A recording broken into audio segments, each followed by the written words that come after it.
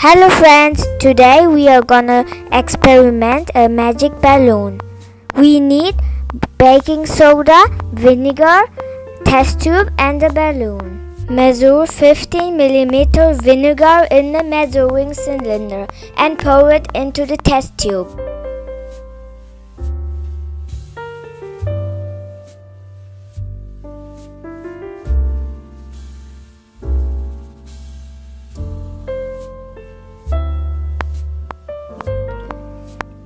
Add 1 scoop of baking soda into the balloon with the help from the funnel.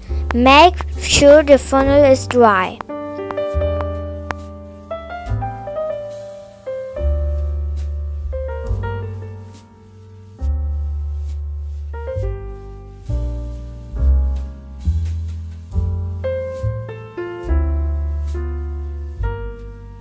Fit the balloon over the mouth of the test tube.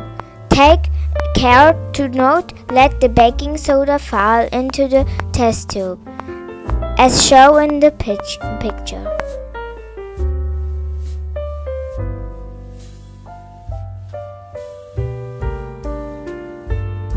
Now lift the balloon to, to allow the baking soda to fall into the bottle and Witness magic.